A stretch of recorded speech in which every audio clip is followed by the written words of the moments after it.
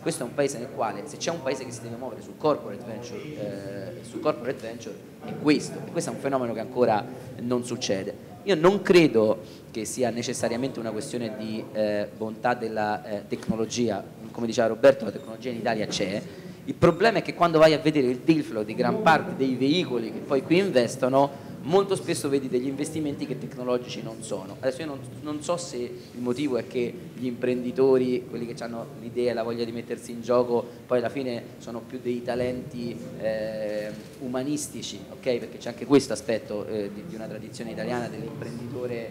Eh, dell'imprenditore eh, artista, ok? Passami il termine, mentre, mentre il tecnico fa, fa il tecnico. Ehm, forse bisognerebbe anche insegnare un pochino ai tecnici a usare un pochino di più. Cioè non è che gli israeliani o gli americani sanno tutto quanto, anzi a volte sbagliano e sbagliano clamorosamente, però si mettono in gioco. E poi c'è l'aspetto sociale del discorso, cioè eh, far saltare una start-up è assolutamente, è assolutamente legittimo. Eh, le Vindi Waze, eh, Waze l'ha fatta al quarto giro. Io ho avuto l'opportunità di essere il suo consulente in tre vite precedenti, quando avevano una startup che è saltata, che aveva un'idea folle, che era quella, che era quella di eh, portare la posta elettronica sul telefonino e all'epoca nessuno capiva perché tu dovessi avere bisogno di leggere una mail sul telefonino. Oh, questo tema della, della, lo riprendo perché qualche mese fa eh, si è parlato molto del fallimento di Mosaic Kuhn come se fosse un, vero, un reale fallimento, ora al di là poi della qualità, no, della... però quanto diciamo, eh, è importante che, una vita, che la startup abbia una vita, cioè un inizio, un percorso e una fine, piuttosto che necessariamente sia costruita per essere scalabile.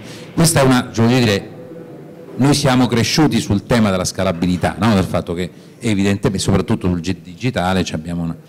però oggi ci dobbiamo anche eh, come confrontare con dei mercati che nascono e muoiono in termini abbastanza rapidi, quindi evidentemente sono percorsi che possono essere. Quanto siamo pronti a finanziare qualcosa che, ha, che oggi abbia una, una, una, un, un, inizio, cioè una vita e una fine prevedibile nell'arco di un, certo numero di anni? Poi... Ehm, si, si, diceva stamattina nel convegno di qui sopra che eh, probabilmente il numero di start-up che noi abbiamo in, in Italia è, è, un po' eccessivo. Ah sì, superiore a quello? Cioè, come sapete abbiamo superato, credo siano 10-11 mila start-up, no 12 mila. diciamo che il, nel, nel, venture capital, nel mondo dell'innovazione, le start-up si fanno delle, da scuola, no? Sono delle organizzazioni momentanee, temporanee, alla ricerca di un modello di business il cui obiettivo è o creare nuovi mercati o distruggere mercati ormai troppo consolidati o sclerotizzati, delle due l'una. Il che significa che rapidamente dovresti capire eh, in un tempo ragionevole, in un ciclo di investimento probabilmente più ravvicinato, se quella startup che hai finanziato o PMI innovativa ha un senso oppure no. Quindi il fallimento è sostanziale e strutturale in questo tipo di approccio. Questo perché eh, presumibilmente, e questa è una delle ragioni per cui metà delle quotate americane oggi sono venture backed e, e non esistevano, cioè la TVA non esiste più, Panam neanche, eh, ci sono Starbucks, Tesla, Apple e quello che sappiamo. No? Quindi c'è il rischio rispetto al tema della maturità o meno dell'ecosistema, io ho una visione positiva dell'ecosistema italiano, penso che ci siano founder, operatori, soggetti, talenti tecnologici, imprenditoriali, credo che ci sia materia. Credo che sia mancato troppo a lungo il capitale per accelerare e questo ha PMizzato la start-up creando un tessuto intermedio che vive molto a lungo, i tempi di permanenza negli incubatori universitari come è noto somigliano alle lungodegenze e, e questo, questo, ha questo questo. questo ha naturalmente reso se vuoi l'ecosistema meno cattivo tra virgolette perché magari non fallisci mai sì. però ti trasformi esatto. in una ennesima piccola impresa o col modello della società di consulenza che non è un modello scalabile e così via. Quindi questo è un po' il... Chieda al nuovo fondo che si sta portando avanti ora, poi parliamo degli spin-off che è uno dei grandi temi dell'Academic spin-off. Un nuovo fondo, no, dicevo, quanto approcciate questo mondo con la, il timore di, di, fare immediatamente qualche write-off diciamo, dei vostri investimenti? Allora, è vero che io sono nuova, ma io faccio venture dal 2007 con Dettori noi, allora. e sono stata diciamo, project di leader del programma di Book Consalvo. Da minorenne quindi? No, no, sono più vecchia di quello che sembra, però sì ero piccolina eh, però in realtà io non sono d'accordo sul fatto che non ci siano talenti o imprenditori, semplicemente, cioè o meglio, sono d'accordo con quello che dice Salvo, perché se, se, pensi che in Germania in una settimana viene deployato sul mercato la stessa cifra che viene deployata in Italia con fondo italiano, ok? E se pensi che diciamo in realtà la parte di tecnologia è una commodity, la differenza la fai sulla parte di go to market. Quindi è vero, lato Israele sono bravissimi no? sulla tutta la parte di cyber security, hanno uno startup nation um, basato su quello, è anche vero che hanno deployato 6 billion okay, in un anno, cioè, quindi um, è tutto proporzionato. Quindi da una parte la difficoltà no? um, e l'opportunità sta nel fatto che noi stiamo partendo adesso, dopo, ehm, tra virgolette, 10 anni, 15 anni di costruzione dell'ecosistema, quindi anche io sono molto positiva da questo punto di vista. E, la parte, se vuoi, ma molto diretta che ti dico francamente è che se tu sei costantemente in fundraising perché non hai gli istituzionali che ti supportano, non è che proprio inizi a fare write-off eh, facilmente, questo, ma non è una questione di imprenditore o perché l'imprenditore ha diciamo, paura di fallire, no? perché a volte anzi mm, cioè, lo sai anche tu, lo sa anche l'imprenditore, semplicemente la trasformi, nel, gli allunghi il periodo di vita cercando di far sì che nel mentre tu riesca a raccogliere dei fondi tali per cui no, eh, magari riesci a dargli il boost, erroneamente. Allora parliamo di, di uno dei temi diciamo, caldi in, queste, in, questi ultimi eh, anno, anno e mezzo, soprattutto il trasferimento tecnologico, cioè il, la, grande risorsa, la grande miniera diciamo, del nostro paese, no? quella che è considerata la grande miniera inesplorata del nostro paese, soprattutto per tutta una serie di diciamo, tematiche che riguardano il rapporto con l'università, il tema delle pubblicazioni, sappiamo bene quali sono le, come sono legate le carriere diciamo, dei nostri ricercatori e quanto poi diciamo, questa carriera è legata alle loro pubblicazioni e quanto le pubblicazioni poi dire, fanno disperdere il valore di un brevetto, il valore di un'idea, il valore trovato e quindi rendono tutto molto più complesso. I regolamenti spin-off che sono estremamente farraginosi, le problematiche diciamo, accademiche, allora, la prospettiva di PolyHub che poi è stata insomma, la, prima frontiera, no? forse l'idea che ha um, anche dire, avviato il percorso di Itatec. Come vedi oggi il trasferimento tecnologico, quello che chiama lei il go-to-market rispetto al rapporto tra trovato, idea e mercato all'interno delle università e all'interno di, di, di acceleratori come il vostro? Sì, mi ricollego brevemente al tema della qualità, su cui convengo che abbiamo tutti gli ingredienti in Italia no, sì, per sì. provare a giocare una partita di sviluppo di imprenditorialità innovativa di nuova generazione, no, al pari almeno di quella europea eh, è vero anche che però, ad esempio, negli ecosistemi maturi, no, e parlo del Nord America, ma parlo anche della Germania, le start-up eh, cosiddette che arrivano dalla ricerca, gli spin-off, no, rappresentano circa il 50% del complessivo no, sviluppato dagli ecosistemi. Esatto. In Italia siamo sotto il 10%. 5,5, ecco. 6. Siamo su una roba di questo tipo, quindi credo Forse che in realtà... Credo Anche che in realtà ci sia un forte tema invece di aumento della qualità del deal flow investibile in Italia, soprattutto alla luce della mobilitazione strutturale di risorse ulteriori no? che per essere moltiplicate, perché abbiamo la possibilità di moltiplicarle, hanno bisogno di intercettare molto di flow e di qualità e sicuramente i bacini universitari, l'abbiamo sempre detto, non ci torno. No? Infatti dicevo prima, non mi ricordo a chi a Roberto, nonostante l'Italia stia disinvestendo nelle università perché l'investimento pubblico è diminuito del 30% anno su anno, continuiamo ad avere dei primati internazionali sulle pubblicazioni. Pubblicazioni sono il primo al mondo. Pubblicazioni significa le, refer le, referenziazioni che i nostri paper hanno sul circuito internazionale della ricerca, ma anche a livello europeo. Però questo vuol dire disperdere la nostra tecnologia. Sì, eh? però anche a livello europeo.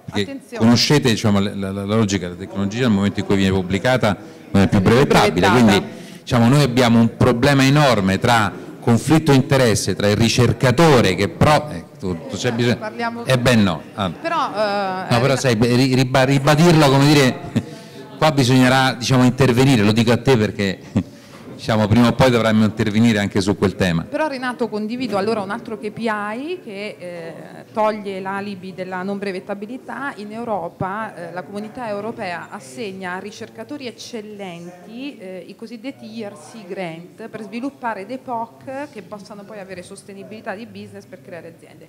Bene, noi italiani siamo i secondi in termini di numerosità di ricercatori finanziati dopo la Germania e molti nostri ricercatori prendono questi grant, l'assurdo, e vanno a fare aziende fuori perché non ci sono strutture oggi in Italia che assistano un percorso di trasferimento tecnologico. tecnologico strutturato. Quindi quali sono i problemi del tech transfer dal nostro punto di vista è un po' quello che abbiamo cercato di indirizzare con la nostra piattaforma eh, di sviluppo imprenditoriale. Beh, certamente c'è un tema nel manico proprio dell'incentivazione alla creazione di impresa dei ricercatori. No? Eh, quindi è verissimo che la progressione di carriera eh, tipicamente è legata al numero di pubblicazioni. La nostra università oggi ha introdotto un ulteriore invece elemento di valutazione che è la creazione di spin-off. Quindi i professori che creano spin-off e creano più brevetti possono avere maggiori progressioni di carriera. Quindi sicuramente l'incentivazione di questa macchina organizzativa è abbastanza forte. I limiti, i, i limiti, del fare start-up dalla ricerca, Roberto un po' l'ha anticipato, è che sono start-up che non nascono da un bisogno di mercato, no? non, ha, non c'hai l'imprenditore che ha il problema di business in mano, hai un ricercatore sveglio che ha sviluppato una nuova tecnologia cioè prendi il problema dal punto di vista eh, diametralmente opposto, quindi tipicamente eh, va attenzionato il potenziale di business, ma soprattutto la capacità imprenditoriale del ricercatore di portarla sul mercato. Il secondo problema è che il gap è proprio la dead valley delle start-up deep tech e che sono molto capital intensive sia dalla fase POC, cioè mentre sul digital fare un dimostratore con 10k te la cavi, con 15-20k te la cavi, Evidente. nell'ambito deep tech, ad esempio Elisa Elisa parlava della nostra startup Leaf Space, cioè loro per fare il primo dimostratore hanno chiesto un milione di euro e non ce n'era, bisognava dargli un milione di euro eh, per giocare a una sfida globale. Questo chiamo Gilibert su questo tema che è un tema veramente importante per il nostro paese. Comunque, volevo intanto completare la mia risposta alla, alla tua prima domanda. Okay. Il problema di uovo o di gallina, cioè l'uovo di... Eh, L'offerta alla domanda. domanda. Come dicevo, quando sono arrivato al, al FEI eh, abbiamo sviluppato un ottimo rapporto con Cassa, c'erano i soldi, c'erano i soldi per uh, Itatec, per altre iniziative, col fondo italiano si lavorava bene, quindi loro portavano il 50% dei soldi e il FEI portava il resto, il 50%, quindi catalizzava il denaro europeo. Noi mobilizziamo in parte il nostro capitale, in parte quello della BEI, in parte quello della Commissione e, e altri protagonisti. E adesso eh, il, il problema era quello della, de, de, dell'offerta, nel senso che la qualità dei fund manager che venivano a Lussemburgo a presentarsi era scarsa. E non si, eh, noi abbiamo certe regole, certe guidelines nell'equity che diciamo essere eh, market, best market practice, magari non lo sono, ma comunque sono lì eh, in termini di alignment of interest, di track record, di, di, compliance eh, e così via. Diciamo che su dieci che si presentavano italiani eh, prendevi uno e poi io andavo in giro a dire perché purtroppo... Gli altri nove non avevano i requisiti. Quindi poco per volta la qualità è leggermente migliorata e adesso le cose vanno meglio, adesso ci troviamo al secondo posto. denaro pubblico qui è sparito. È da nove mesi che il mercato è fermo. Cioè, questo posso, è un paese non, non possiamo, che va no, sotto elezioni ogni anno, cioè non, non, non direi che... Non possiamo dare soldi se non c'è un, un, un, corrispondente, un match. Deve essere una... Vabbè, no, questo, ma, ma, è chiaro, sì. poi, per il trasferimento tecnologico. Credo che abbiamo giustamente con Cassa individuato il trasferimento tecnologico come probabilmente il market gap maggiore in Italia. In Italia ci sono centri di ricerca eccellenti livello universitario o anche al di fuori, che, eh, in cui il professore non ha, il ricercatore, alcun interesse a commercializzare la cosa. Mi ricordo nel 2014 sul giro dell'università, che la scuola Sant'Anna, il Politecnico di Milano, il collega di Torino, beh, quasi mi ridevano in faccia cos'è il tech transfer, cosa mi viene a raccontare? Io sto bene così, eh, vivo bene nel mio orticello, vai e, e, così fu. Quindi noi saremo ben preparati a fare un, un, un numero 2. C'è solo il problema che ci siano i soldi da parte italiana. Se, se non ci sono... Vabbè, ehm... Però voglio anche dire Beh. alcune cose, cioè ci sono anche altri modi sono stato a Monaco di Baviera due giorni, tre o quattro mesi fa. Al mattino ho firmato con l'Istituto di ricerca Fraunhofer, che è una cosa enorme, che copre tutta la Germania, sono 11.000 ricercatori. 60 milioni, eh, contentissimi, loro non ci hanno messo altrettanto il giorno dopo con il Family Office della BMW, quindi Susan Clatten, e il Family Office Getty, abbiamo non firmato, è stato firmato prima, Finance for Industrial Innovation. E questi cosa succede? Eh, BMW, o il Family Office di eh, Susan Clatten, mette 50 euro di grant a un POC, noi gliene mettiamo altri 50 euro generalmente la forma è qualche forma di, di, di prestito subordinato lungo termine convertibile. Questi poi finanziano questi spin-off e eh, le cose vanno avanti molto bene. È un modello che è facilmente replicabile. Adesso cerchiamo in Svezia e in Danimarca di, di replicarlo con altri grossi family office. Purtroppo qui a Torino abbiamo fatto una fondazione molto famosa una, un evento di questo tipo, eh, però eh, la famiglia ha deciso di non entrare. Però voglio dire, Italia ci sono tante altre famiglie eh, ben ricche. Sono... Sta dicendo una cosa, siamo ovvia, che poi la cultura diciamo, che, che, hai, che Roberto diciamo, ha descritto dal, sul piano imprenditoriale c'è anche sul piano finanziario, cioè l'assenza di cultura. Volendo al, al di là del, del denaro pubblico ci, ci vuole anche qui manca la, volo- la volontà di fare.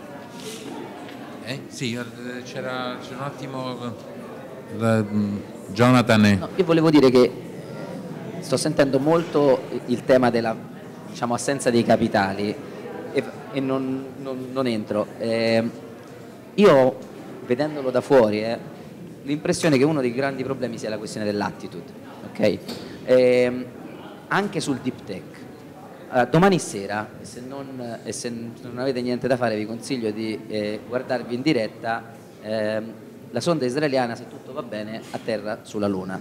Eh, è un progetto eh, privati, sono privati, è un NGO, è una start-up. Chi ha dato la concessione di partire sulla Luna? Scusi. Ragazzi, è una start-up. È una start-up. Sono, due, li ha bloccati. sono due ragazzi che si sono guardati in faccia e hanno detto mandiamo una sonda sulla Luna allora, guardano a delle cose che stanno, guardano alla meta. La maggior parte delle cose che io vedo eh, in Israele, anche quelle dove decido di non investire, mi fanno generalmente fare un salto sulla sedia per la chutzpah. Sei venuto a umiliarci? No, no, no, assolutamente no, è, è, è, al, contra- è, al contrario. Noi abbiamo investito in una startup che ehm, ha reinventato il link la prima volta che ce l'hanno detto tu, tu esci, torni da pranzo, ti siedi, ti arrivano due ragazzi e dicono noi avremmo reinventato il link e tu vuoi cosa? Però dopo che noi ci abbiamo investito IBM se l'è presa dentro AlphaZone, adesso le stanno portando in giro, ci attaccano eh, il loro motore di, di, di intelligenza artificiale, la, la, la roba gira. Eh, sulla eh, ricerca spaziale eh, abbiamo visto una startup che ci dice c'è un problema di, eh, di accuratezza del GPS, come è stato risolto? Galileo ha messo in orbita billions di satelliti. Questi, veramente noi avremmo scritto eh, qualche linea di codice che, che, migliora il GPS, non c'è bisogno di cambiare un satellite. Ciao, allora, in questo senso dico, è una questione di, di, spesso di attitude. In Israele una delle cose che c'è è la, la, consapevolezza che a volte si possono fare grandi cose con delle risorse zero, minime. minime. Salmo. No, volevo, volevo, aggiungere anche a margine di quello che diceva prima Pierluigi. Eh, sì, ci stiamo concentrando sui punti diciamo, deboli, però analizzando quelle che sono le componenti di un diciamo, ecosistema maturo è vero che va segnalata l'assenza di una serie di player.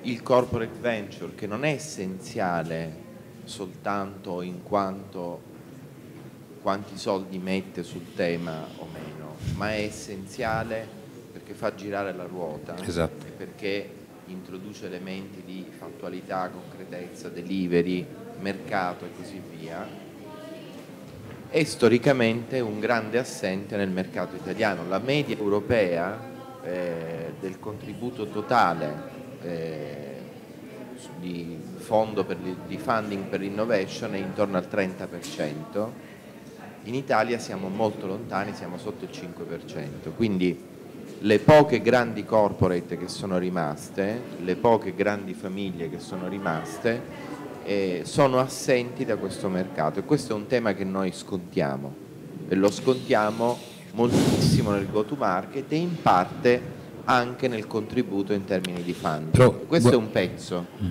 L'altro pezzo che manca è il pezzo, quello classico da IRISA Act, cioè le casse e i fondi, le casse di previdenza e i fondi pensione.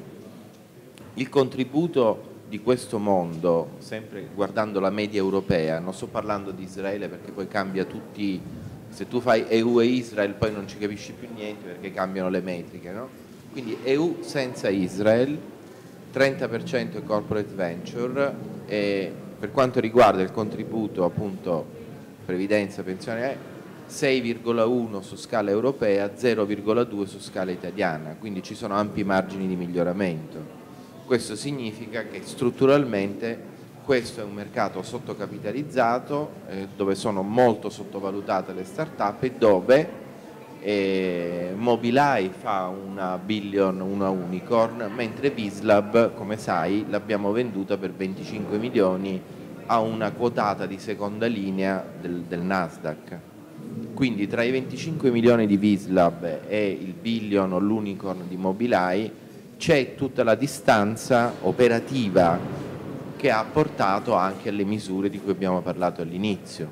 Le misure di cui abbiamo parlato all'inizio, per riassumere, sono un Fondo Nazionale di Innovazione da un miliardo che avrebbe la vocazione anche di combinarsi e combinare un'alleanza strategica con l'Europa, quindi con il Fondo Europeo qui rappresentato da Pierluigi e con i grandi investitori istituzionali tutto il resto è diretto direttamente sul mercato, quindi la questione PIR, agevolazioni per le casse previdenziali, i dividendi delle partecipate, gli incentivi al uh, ricerca e tecnologia, quelli alle, quelli alle quelli sono diretti al mercato.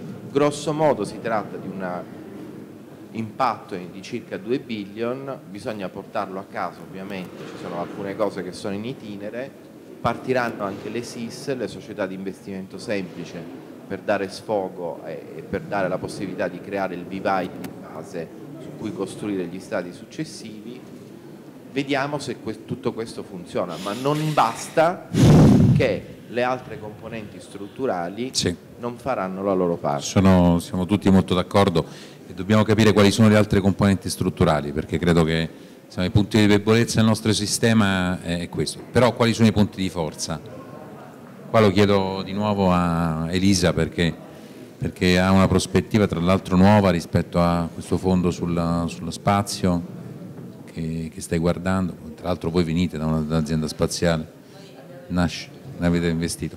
Però ecco, questo tema di come diciamo, le tecnologie vengono utilizzate su settori diversi rispetto a quelle di, di provenienza, che è una, una delle tante no, prospettive del, nuovo, del, del, venture capital, come, come, come lo vedi oggi? Cioè, quello che sta dicendo lui, che tante risorse, ma dove sono i punti di forza e di debolezza del nostro, nostro sistema? Ma allora, se devo cercare di riassumere, sicuramente oggi il deal flow, quindi um, deal flow non nascondiamoci un po', è un problema. E soprattutto sono d'accordo con quello che diceva Roberto, non tanto perché manchi la tecnologia o perché manchino gli imprenditori, ma il, oggi a mio avviso il problema è che manca l'unione delle due cose, quindi c'è un po' di venture creation da fare, però non, non, non partiamo da zero, fortunatamente come diceva Lisa partiamo da lavoro fatto negli ultimi 15 anni, quindi in realtà siamo sperabilmente all'inizio della curva di crescita, quindi eh, sicuramente non è un puro lavoro di investimento come probabilmente in Israele, eh, i, i venture capitalist in Italia devono fare un po' di lavoro operativo per mettere insieme la tecnologia, l'imprenditore, magari anche un po' la strategia di go to market, perché penso che tutti noi in, in board eh, lavoriamo con l'imprenditore per dire ok però magari non fare così ma fare un po' là, però è anche vero che come tutti i mercati che sono all'inizio della fase di crescita sono anche mercati che hanno grosse opportunità e in cui gli operatori possono fare molto la differenza.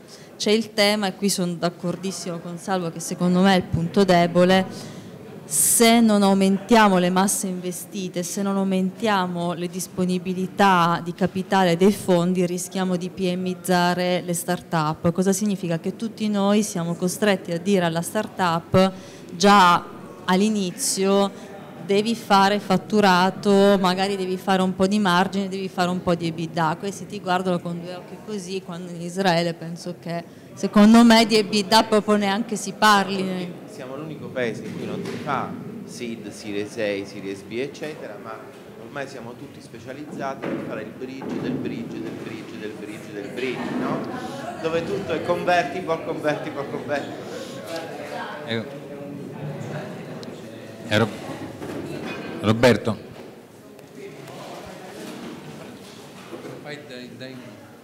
Prego.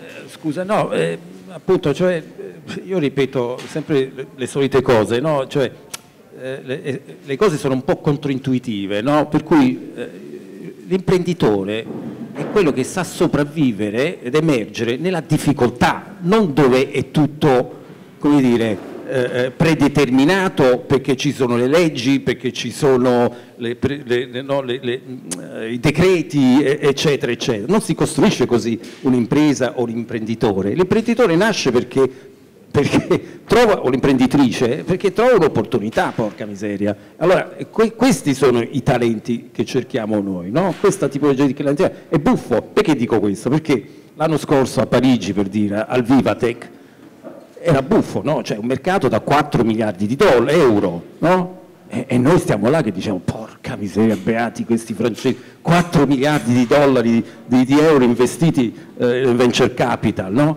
Allora, a un panel si diceva, operatori come noi che, che gestiscono l'acceleratore, dice ma qual è il vostro problema? No, il nostro problema è che quando le start-up escono dal programma di accelerazione non trovano i capitali. cioè, cioè, voi, voi, voi, vi lamentate, no? Ma allora noi cosa dovremmo dire? Cioè, semplicemente l'asticella viene spostata, no? Più in su, più in là, eccetera, eccetera. Quindi i, questi problemi esistono un po' ovunque. È vero che in Italia la, la questione è, è, è, è ancora molto più bassa l'asticella. Però ecco, tutte queste difficoltà per noi sono le opportunità, ok? Poi sì, è vero, c'è tutta la filiera ancora da costruire fino alla exit, no? Però allora, la, il 2018 è stato un anno record a livello globale nel mondo del venture capital, del private equity, del, delle start-up, dell'exit. Appunto abbiamo parlato dell'Inghilterra, hanno investito 8 miliardi di dollari in venture capital. Come? Trimestre, ancora, ancora di più, per dire, no? Esatto, e, allora la, la, l'altra metrica in Inghilterra è che nel 2018 hanno avuto un anno record di exit, 40 miliardi di, euro, di dollari di exit, 40 miliardi di dollari di exit. Ma per arrivare a 40 miliardi di dollari di exit devi passare sopra migliaia di cadaveri di start-up, migliaia di cadaveri di start-up su un arco di 10 anni, porca miseria. Quindi voglio dire, non è che la roba succede dal giorno alla notte, no? no però ora facciamo una, un discorso di sistema perché quando si parla di venture capital si parla di stramiliardi, sento tutti che dicono dei miliardi, dei miliardi, dei miliardi. Oh, è evidente, lo dico a voi due, eh, che noi dobbiamo diciamo, far crescere dire, la nostra cultura imprenditoriale, la nostra capacità. Allora, no, lo dico perché, perché come dire, cioè, la percezione soprattutto gli investitori istituzionali italiani che seguiamo nel tempo, è una percezione dire, molto disorientata, perché da una parte quando si presenta un'opportunità si parla di miliardi cioè, nel mondo, quindi l'investitore istituzionale dice, dice ma se io investo lì in teoria dovrei fare dei miliardi. Poi però diciamo, dire, ci si trova di fronte a una qualità media del, dell'interlocutore molto bassa, cioè, o, o medio bassa perché l'attitude non è, quello dire riconciliare queste due, queste due, percezioni per un investitore istituzionale non è banale, che da una parte dice io devo fare miliardi con chi? Con uh, questo signore, che, che, è un tema. Diamo a Gilibert, eh, la, poi vorrei che, che interveniste voi due. Secondo me in Italia e altrove in Europa credo per sviluppare un mercato di venture capital e private equity ci vogliono tre componenti, un componente nazionale, soprattutto per la parte early stage, seed, eh, tech transfer, dove l'investitore istituzionale non, non ha interesse a entrare. Quindi veramente ci sono i market gaps, dove l'operatore pubblico ha il dovere, il diritto di partecipare per sviluppare il capitale. Poi una componente, se possibile, visto che siamo in Europa, europea, e penso che la, la Commissione europea da questo punto di vista è veramente molto aperta ad aiutare l'innovazione, ci sono decine di miliardi disponibili, solo che l'Italia non ha, parliamo anche dei fondi strutturali, tipicamente in Italia non vengono spesi, ma possono essere trasformati in strumenti finanziari, inclusi, abbiamo fatto in Grecia, 300 milioni, un fondo di fondi in Grecia, Equifund in Grecia, è venuto Tsipras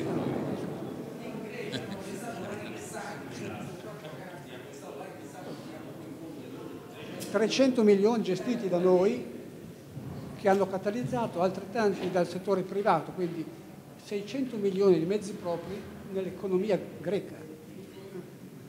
E poi c'è la componente, secondo me fondamentale, del privato. Allora, noi tradizionalmente non abbiamo mai gestito fondi dei privati, però le cose sono cambiate perché adesso ci siamo messi a farlo. Per esempio, siamo andati in Cina, abbiamo fatto, beh, questo forse non è privato, con il Silk Road Fund, un grosso 250 milioni, a cui abbiamo aggiunto 250 milioni, e investiamo in Europa. Okay? Fa, diciamo, un, un, un, agreement di co-investimento con loro, ormai li abbiamo tutti spesi, torno a Pechino eh, nel mese di, di giugno, spero di triplicare, che sono contenti. E sono soldi per il venture capital e il private equity europeo. Perché erano iniziati ah, dobbiamo avere dei fondi con un elemento cinese. Adesso la cosa è passata, sono talmente contenti, ha fatto un lavoro eccellente. Poi abbiamo lanciato un fondo di fondi a Lussemburgo per raccogliere dai privati.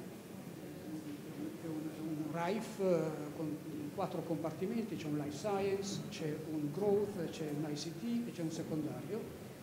Abbiamo raccolto 400 milioni per adesso soltanto tra l'altro tre, spero quattro fondi italiani. Quindi sono fondi di privati italiani che saranno investiti in questo fondo che purtroppo non investirà in Italia. C'è la cassa forense dentro. Eh, cassa forense, bel po' di soldi.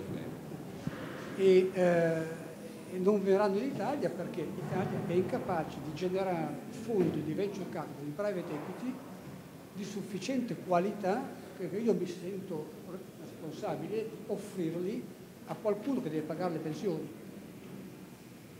Quindi devo offrire la creme della creme di quello che conosciamo noi come FEI, quindi quelli che saranno quartile numero uno su tutti i criteri.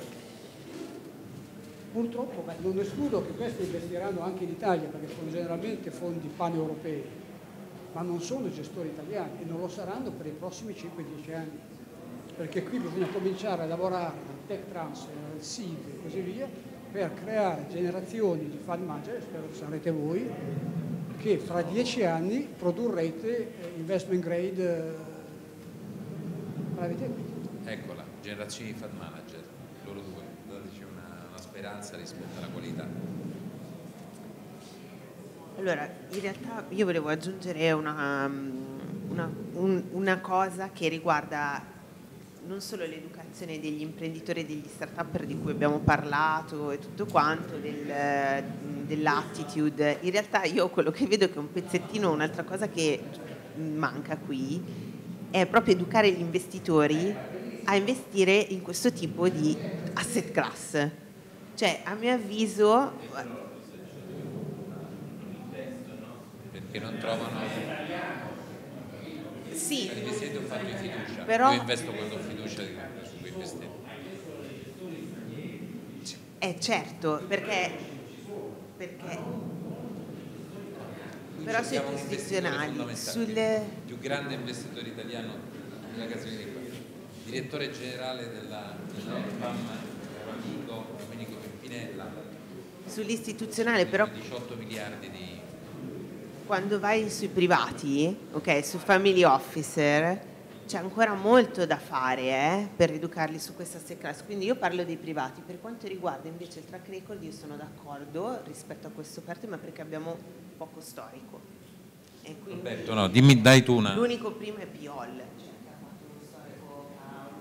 Ma sicuramente, sì, sicuramente eh,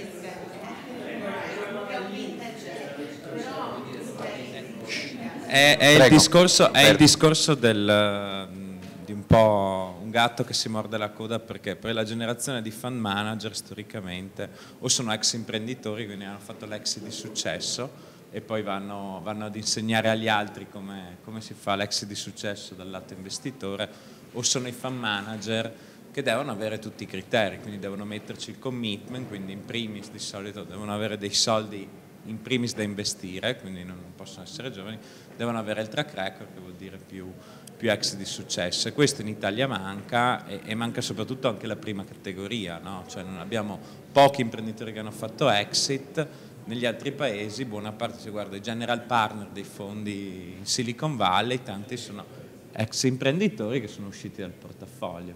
Che cosa manca per, per fare exit? Eh, l'abbiamo detto, in primis l'accesso al capitale, cioè primo fattore di successo della startup resta comunque l'accesso al capitale, tecnologia, gente brava, tutto quello è, è sicuramente utile, indispensabile, ma abilitante è avere, è avere, soldi da spendere per competere con poi le tecnologie internazionali. Eh, secondo me la seconda cosa, e ritorno al discorso di Jonathan, è anche di cultura, no? c'è cultura di piccola media impresa. Piccola media impresa cosa vuol dire? Noi abbiamo visto i nostri nonni, i nostri padri, fare azienda in un certo modo, che non è fare start-up, fare azienda in un certo modo come? Partendo dal piccolo, prendendo i primi clienti, facendo fatturato, prendendo i soldi a debito alla banca e crescendo in vent'anni. Questo non è quello che richiedono i fondi venture capital, che è una curva molto accelerata in 5-6 anni. Questo cosa vuol dire? Mettere dentro tanti soldi, portare dentro tanti talenti. Portare dentro tanti talenti c'è un po' uno scoglio e qui c'è education da fare, cioè lo vedo io nei nostri imprenditori.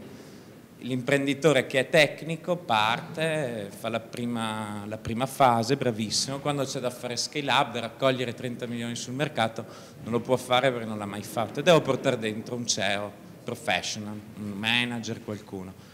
E qui c'è, uno scoglio da superare, cioè l'imprenditore eh, di base questa, questo passaggio, l'imprenditore italiano fa fatica ad accettarlo. E l'education qui è da fare e non so neanche bene come venga superata perché per quanto l'investitore si imponga se il funding team non è d'accordo questo, questo, passaggio non si riesce a fare.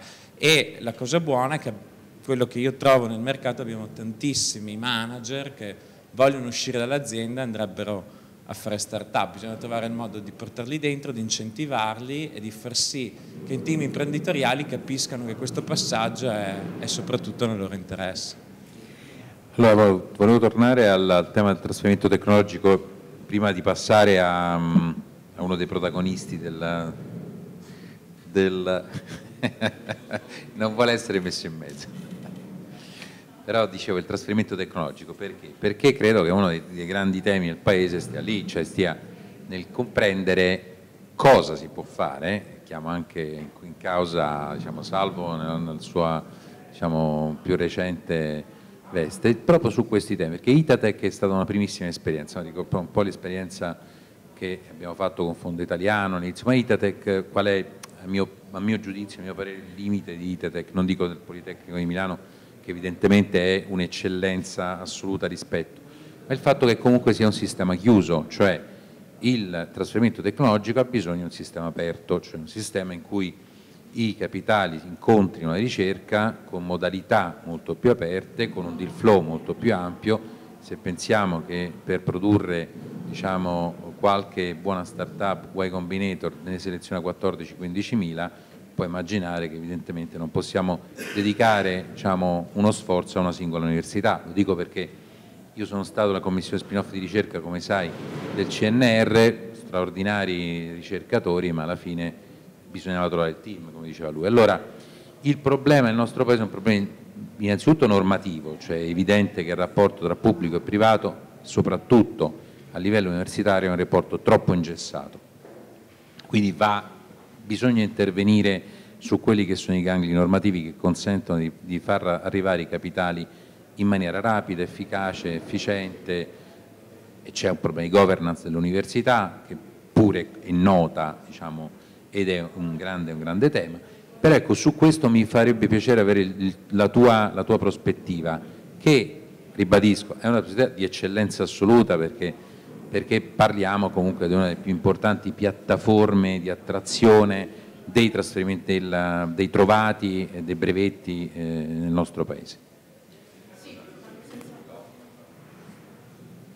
sono stati un po' toccati tutti quelli che sono come dire, i limiti, le criticità da superare in questo percorso.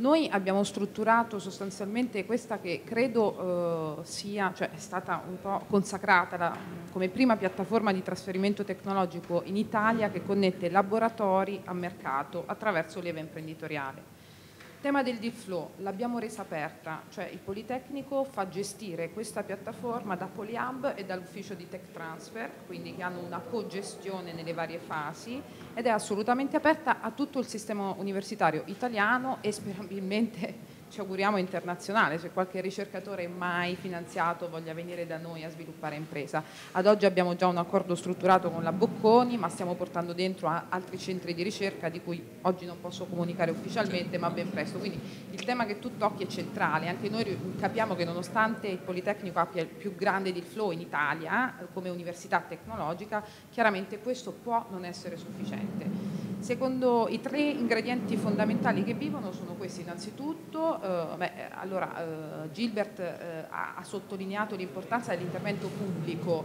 nella fase di trasferimento tecnologico perché il VC per cultura e per modello di business non riesce ad andare troppo indietro, questo è chiaro. Quindi l'università ha stanziato dei grant che poi sono convertible per noi nel momento in cui si crea l'azienda, ma l'università mette a disposizione dei grant per finanziare i migliori trovati tecnologici e per accelerare la creazione dei dimostratori, in modo tale da renderli più finanziabili sulla filiera del venture capital. E questo è un importante elemento. In più ha strutturato un meccanismo che favorisce chiaramente la brevettazione, eh, tutelando, eh, sapete, esiste il tema del del professor privilege, il tema del costo del brevetto, quindi abbiamo normato bene tutta la modalità di creazione di proprietà intellettuale. Secondo eh, tema importante è quello dell'imprenditorialità e del business. È vero, eh, cioè l'Italia ha smesso di creare imprenditori, è un po', io come generazione lo sto osservando, cioè dagli anni 60 che abbiamo smesso di fare imprenditori, siamo diventati tutti manager, facciamo tutti gli MBA, dobbiamo fare tutti i professionisti e abbiamo eh, inserito persone in aziende che stavano fallendo, non rendendoci conto realtà la creatività italiana doveva rigenerarsi e creare una nuova classe imprenditoriale che come Roberto dice non è quella dei nostri genitori, è una classe imprenditoriale diversa, è la classe imprenditoriale che deve cavalcare la leva dell'innovazione. Noi che cosa stiamo facendo? Siamo stati certificati adesso lo dico tra di noi, però ehm, è abbastanza noto, come Poliab abbiamo il programma di accelerazione imprenditoriale e di business a livello universitario terzo al mondo per capacità di trasformare tecnologia in aziende vive dopo 5 anni con fatturati e eh, capitali raccolti e generazione di posti di lavoro del futuro. Lo facciamo in che modo? Abbiamo raccolto e federato 80 mentor che sono manager di aziende e o business angels che quindi portano immediatamente il bisogno del mercato nel POC nascente e stiamo cercando di creare una classe che abbiamo chiamato di entrepreneur in residence, cioè una nuova uh, working class, no? eh, sono pochissimi, sono imprenditori che hanno fatto exit, anche piccolissime, al Politecnico cominciano a esserci, le nostre exit sono dai 5 ai 10 milioni di euro, però l'importante è il percorso che questo imprenditore ha fatto, ha visto la fine della storia e oggi è in grado di riniziarla no, scrivendo una regia completa. E il terzo elemento è il fondo fondamentale capitali, c'è un fondo strutturale che è Poli 360 nato dal progetto Itatec che a questo punto strutturalmente investe nelle azioni di preside, è fondamentale il cofinanziamento perché, come dicevo prima, gli artefatti tecnologici sono molto costosi, cioè realizzare tecnologie innovative richiede un costo elevato e quindi richiede una disponibilità strutturale di capitali che un fondo riesce a garantire. È un fondo che opera all'80% dentro la nostra università, quindi è impegnato, è il primo fondo in Italia di tech transfer basato su un'unica università. Poi l'altra parte può essere investita chiaramente in altre ricerche. Questi sono un po' gli elementi. Ecco, l'ultimo aggiungo è la concentrazione, eh, anche questo è un tema a me molto caro, Roberto l'ha toccato, l'altro elemento distintivo è che noi stiamo cercando di concentrare tutti questi ingredienti in un'area geografica limitata anzi più piccola è più sono contenta, almeno c'è più scambio. E quindi studenti, docenti, ricercatori, tecnologie, Poli 360, capitali, le nostre start-up 100, noi come incubatore Poliab abbiamo 100 start-up, abbiamo 43.000 studenti, 3.000 docenti e ricercatori, 250 laboratori di prototipazione, adesso sono, abbiamo un accordo importante con la Cina che sta facendo atterrare la sua subsidiary dell'incubatore cinese, insomma c'è una densità di competenze e di talenti che favorisce poi l'innesco e la generazione di innovazione. Bovisa, Politecnico. Però da qui si vede insomma, che c'è una grandissima vivacità sul settore del trasferimento delle tecnologie in Italia, totalmente ancora inespressa, a mio parere, a parte questo primissimo elemento su cui chiaramente immagino che il governo avrà. Eh, Domenico, ehm, proprio su questo tema, no? allora, fondi pensione, casse di previdenza, prima ne abbiamo parlato, ehm, si parla sempre di, di, risorse finanziarie quando si parla di loro, in realtà loro diciamo, come dire, erogano pensioni, prendono contributi e erogano pensioni, quindi hanno sempre un tema di fondo che è il loro no, interlocutore, cioè arrivare, far, arriva, far, arrivare la pensione a chi evidentemente, quindi c'è un grande tema di filosofia complessiva. Io che studio questa materia da un po' di tempo, come molti sanno, ho una certa dire, eh, approccio. Io penso, e lo dico prima che dire così sai già quello che penso e, e, e, mi fa molto piacere capire quello che invece pensi tu, che sei insieme diciamo, alla, alla, tua organizzazione diciamo, la cassa di previdenza di punta eh, del, del, sistema. Io penso che una pensione ci debba arrivare e il nostro Paese abbia anche questo problema, cioè il problema di eh, dire, alimentare una crescita, uno sviluppo che nasce abbiamo, da un certo gap di, di, di, di tecnologia, di, innovazione, di mancanza di investimento e quindi da questo punto di vista e lo vediamo diciamo, ormai sullo schiacciamento totale dei rendimenti di qualsiasi titolo finanziario che gira in Italia, compreso quello dei fondi di pensione che sappiamo essere l'anno scorso stato sostanzialmente negativo, ehm, abbiamo da una parte diciamo, uh, una borsa che è una borsa estremamente diciamo, limitata perché parliamo di 350 titoli quotati, una capitalizzazione da 540 miliardi contro borse mondiali che pochi forse sanno perché ragionano, hanno eh, diciamo, dimensioni 100, 150, 200 volte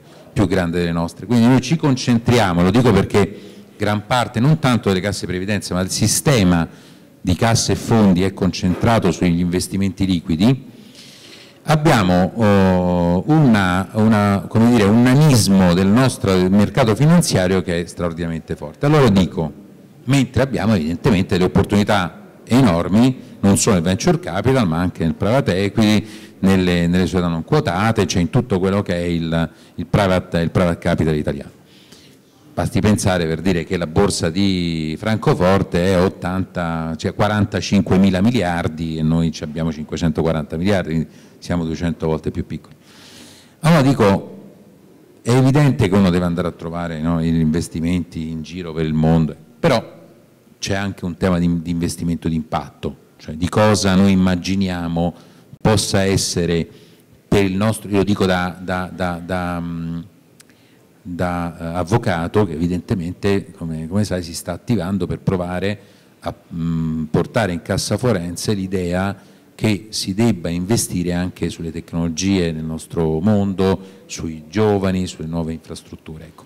Questo, diciamo, questo tipo di profilo, al netto del fatto che poi le pensioni vanno pagate, quanto può entrare nelle corde di una cassa di previdenza o di un fondo pensione, quindi di un di un risparmio previdenziale che chiaramente va investito.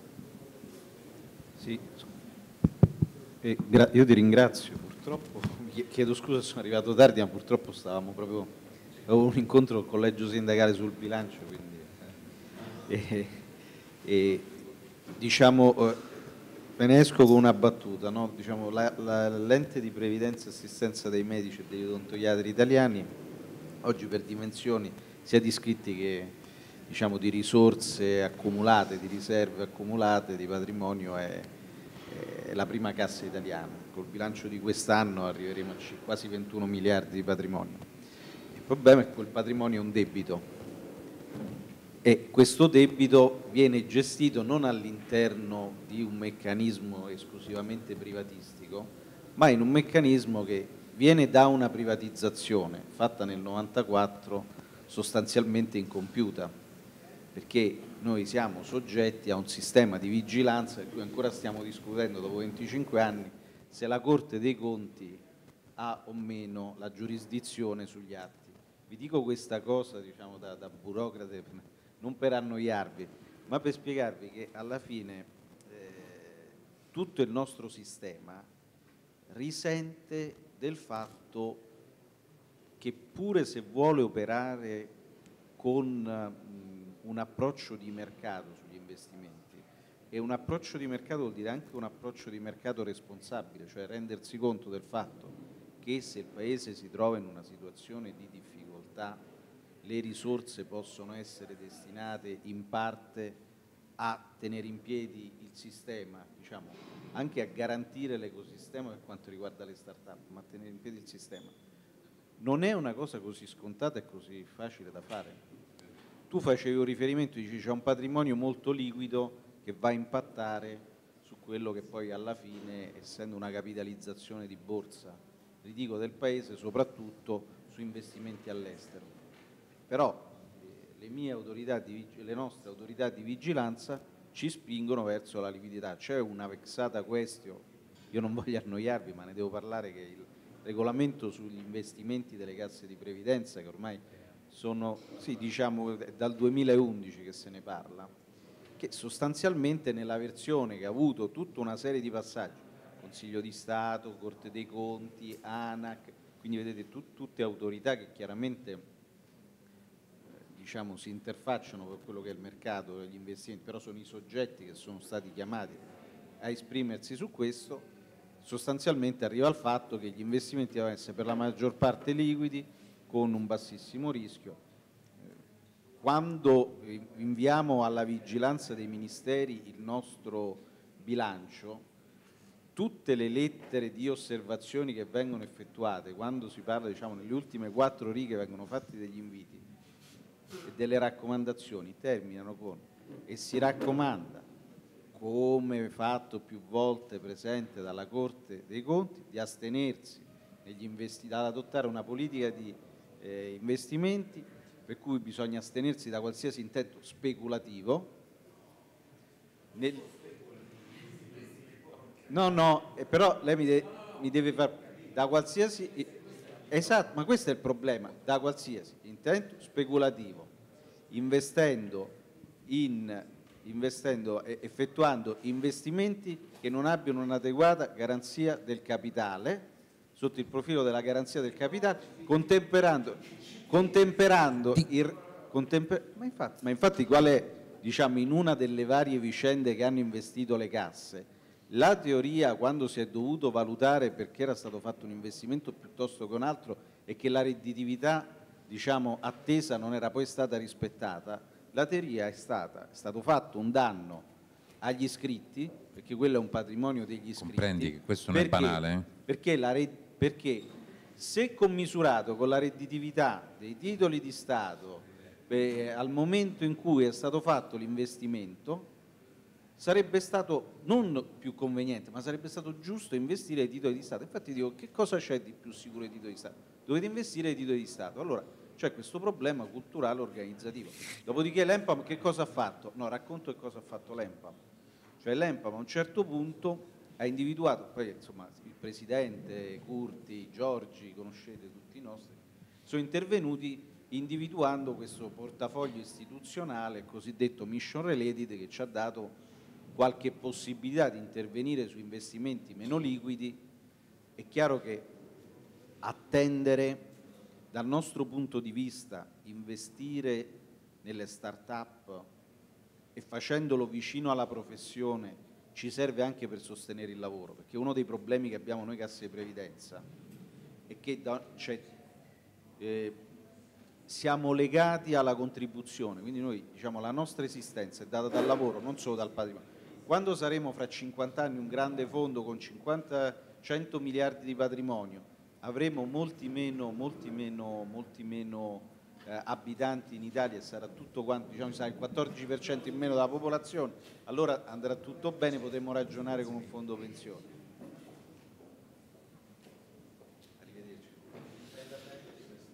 No, certo ecco, certo una, una, una, delle, una, delle, cose che però va, va, va detta, perché rispetto a, al loro mondo, allora, i fondi pensione hanno un regolamento del 2014, se non ricordo male, di origine europea, preciso, su cui si possono muovere con una certa garanzia, eh, con documento di politica di investimento, con tutta una serie di percorsi e procedure, tra l'altro sono, diciamo, dire, eh, sono fondi integrativi secondo pilastro, quindi sono risorse sostanzialmente private, mentre le loro hanno comunque una garanzia semipubblica, ma manca un quadro regolamentare, perché loro non hanno, e questo lo dico a te soprattutto, ma a tutti perché lo sappiano, non hanno un quadro di riferimento su cui si possono, entro i quali si possono muovere.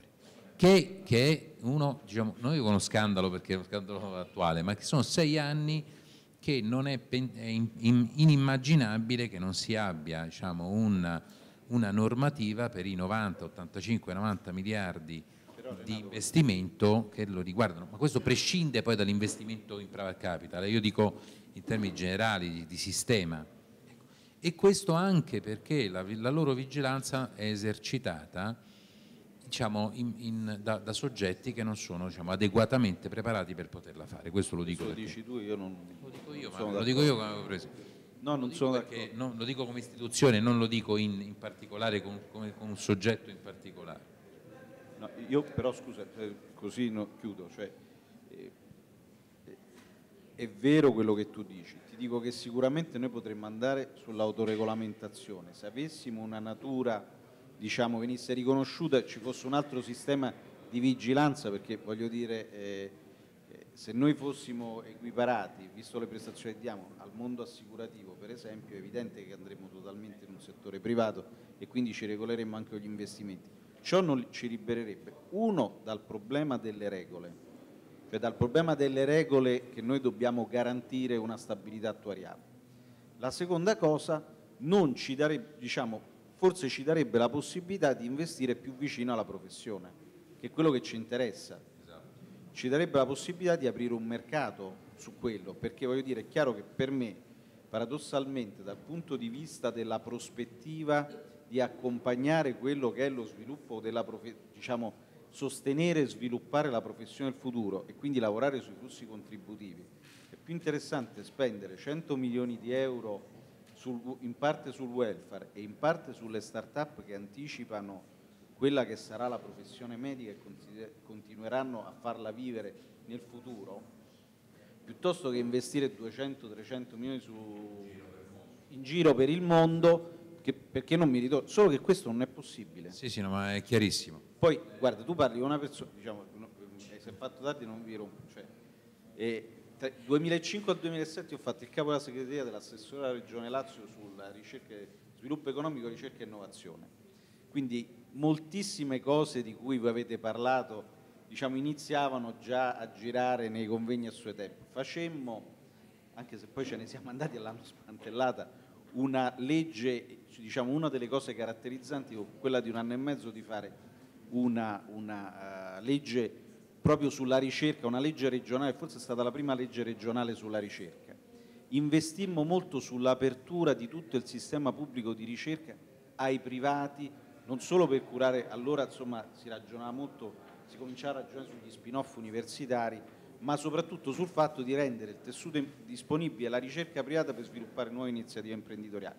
Facemmo una banca dati eh, di tutti quelli che erano i centri di ricerca del Lazio, dove tu andavi e vedevi tutti i progetti di ricerca che erano in corso, cioè, insomma, si fece un grosso investimento, si cercò, si investì sulle infrastrutture delle università, facevamo in quel momento quello che doveva fare il pubblico cioè investiamo sul pubblico per, da, per infrastrutturare il territorio, perché l'idea era quella. Se noi infrastrutturiamo il territorio, poi l'iniziativa privata parte. C'erano pure una serie di, di, di leggi, non ho seguito più, insomma, per finanziare piccole iniziative. Oggi secondo me c'è una straordinaria possibilità di investire capitali privati. Mi permetto di dire che forse l'infrastrutturazione pubblica per rendere diciamo, le autostrade, ma non solo, diciamo proprio le autostrade, che servono dovrebbero essere un po' più all'attenzione dei, dei decisori, dei regolatori pubblici, perché le idee ci sono, però se non ci sono i campi di calcio abbiamo tutti Pelé e Maradona e poi stanno all'oratorio. Io sono totalmente d'accordo. Siamo in chiusura? Allora, ma salvo e poi fai tu una, una chiusura per, per tutti. Beh, che cosa devo dire?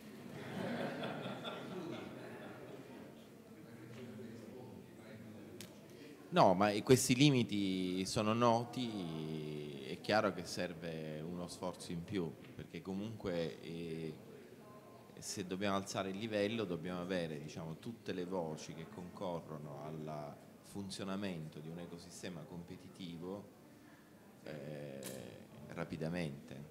Cioè, anche il discorso... Sì, le risorse sì, ma anche sì, è il discorso che faceva Domenico prima, no? eh, molti medici domani saranno dei data scientist. Eh, che fa lui? Non, in, non, investe in intelligenza artificiale, database? È evidente che c'è un tema eh, che non solo è incombente, imminente, ma che è già iniziato. No? Quindi se la missione dei soggetti istituzionali come quelli che Domenico rappresenta è consolidare la, chiamiamola base produttiva della, del proprio ente, tu oggi questo non lo puoi fare più con gli strumenti del passato, perché cosa ne sai di che cosa sarà quella professione, quel comparto, quella industria tra 5, 10, 20 anni? dobbiamo iniziare adesso a fare questo tipo di investimenti. Questo è lo sforzo, perché poi sai, quando ci mettiamo a discutere di siamo indietro, siamo avanti, ci vogliono più soldi, meno soldi, più talenti, meno talenti, perdiamo di vista quello che è poi l'obiettivo vero. Non parliamo di venture capital per il piacere di parlare di venture capital. Il venture capital è una cassetta degli attrezzi.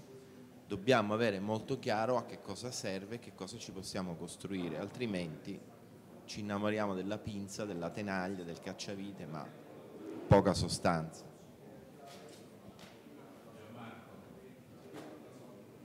Grazie, io vi ringrazio. E che dire, eh, ma sostanzialmente io riporto magari qualche cosa che si è detta nel panel precedente, perché ovviamente diciamo qui oggi adesso ci si è focalizzati in venture capital, il panel precedente era in generale sullo startup act, quindi sul, sull'ecosistema. Allora, eh, io vorrei intanto ricordare a tutti che eh, pronto? Sì, ok. Che, eh, che bisogna tenere presente e tenere alta l'attenzione verso i policy maker che eh, la qualità del deal flow che arriva agli operatori del venture investing dipende dalla cornice legislativa che determina la qualità e l'attrattività dell'ecosistema su cui si opera, okay? innanzitutto. Quindi eh, per far sì che arrivino buone opportunità ci deve essere un environment favorevole e quindi cioè, nessuno si è ancora posto oggi il problema dell'attrattività. No? L'Italia è un posto che non attira nessuno da fuori e, e dove i venture investor italiani intercettano forse una parte di quelli che partono da qui, ma i migliori se ne vanno all'estero direttamente, neanche ci provano a operare qua, no? che non è un solo un problema diciamo, di dimensione del, del, capitale di rischio, è anche di qualità degli operatori. Allora qui abbiamo tutti operatori tendenzialmente nuovi, no? allora un invito a tutti i nuovi operatori eh, è, è, quello di, di non lavorare in modo un po' seduto come hanno lavorato quelli preesistenti che no, si sono diciamo, allegramente messi a, a, diciamo, a, fare una vita abbastanza comoda eh, con eh, mesi e mesi e mesi per le due diligence quando nel resto del mondo si compete per trovare i progetti migliori. Quindi il salto di qualità deve essere anche nella qualità del lavoro degli operatori del venture investing e, e dopodiché appunto adesso si è incassata la parte del fondo di fondi mi raccomando però di tenere alta la guardia verso i policy maker che non è che si è vinta adesso la battaglia appunto ma bisogna qua no appunto adesso sì adesso c'è il fondo di fondi ma bisogna lavorare perché gli ecosistemi territoriali attraggano e producano progetti di impresa di qualità ad alto impatto. Quindi questo è ancora è veramente tutto da fare. Io trovo che negli ultimi anni, dal 2012 ad oggi, abbiamo perso un'occasione perché, perché lo Startup Act era assolutamente disordinato. Cioè, ricordiamoci che il venture business è uno schema, è uno schema che ormai è ultra codificato e notissimo, quindi si sa in che modo si deve creare questa circolarità tra talenti, progetti di impresa, operatori intermedi e capitale di rischio questo schema noi in questi anni non solo non l'abbiamo attuato, ma ne abbiamo parlato anche in modo totalmente confusionario. Quindi eh, là fuori oggi non c'è quasi nessuno che ha capito veramente come deve girare questo orologio ed è un orologio, è un orologio e quindi gli ingranaggi se non sono tutti al proprio posto non, non segnerà mai le ore corrette se non ogni tanto casualmente incidentalmente. Quindi può uscire fuori l'includicorno ma perché è una casualità che si incontri, incontri l'imprenditore con l'investitore. Quindi noi dobbiamo organizzare uno schema copiando e mutuando qui eh, perché il tutto possa funzionare. Non ci dobbiamo inventare niente